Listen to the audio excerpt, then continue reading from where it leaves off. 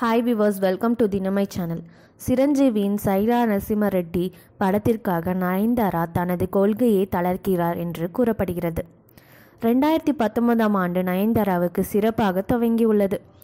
அவர் அஜித்துடன் சேர்ந்து நடித்த விஸ்வாசம் படம் ஹிட் ஆகியுள்ளது அவர் ரெட்டை வேடத்தில் நடித்துள்ள ஐரா படத்திற்கு பெரும் எதிர்பார்ப்பு ஏற்பட்டுள்ளது. இந்த நிலையில் அவர் தெலுங்கில் நடித்துள்ள மெகா பட்ஜெட் படமான சைரா நரசிம்ம ரெட்டி ரிலீஸ்க்கு தயாராகி வருகிறது.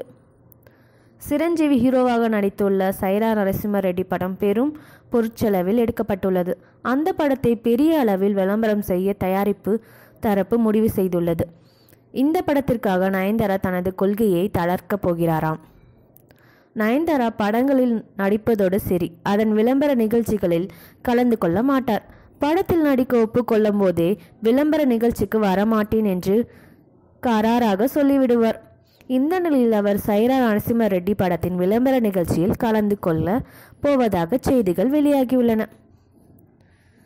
சைரா நரசிம்ம ரெட்டி படத்தை தயாரித்துள்ள நடிகர் ராம் சரண் நயன்தாராவை சந்தித்து தயவு செய்து படத்தின் விளம்பர நிகழ்ச்சியில் கலந்து கொள்ளுங்கள் என்று கோரிக்கை விடுத்தாராம். நயன் படத்தை விளம்பரம் படுத்தினால் அது பெரிய பிளஸ் ஆக இருக்கும் என்று ராம் சரண் நம்புகிறார். அவருக்காக நயன் விளம்பர நிகழ்ச்சிகளில் கலந்து கொள்கிறாராம். சைரா நரசிம்ம ரெட்டி படத்தின் பாலிவுட் நடிகர் அமிதாப் பச்சன் விஜய் சேதுபதி தமன்னா ஹெம்மக்ருஷி ஜெகபதி பாபு ஆகியோர் முக்கிய கதாபாத்திரங்களில் நடித்துள்ளனர் என்பது குறிப்பிடத்தக்கது.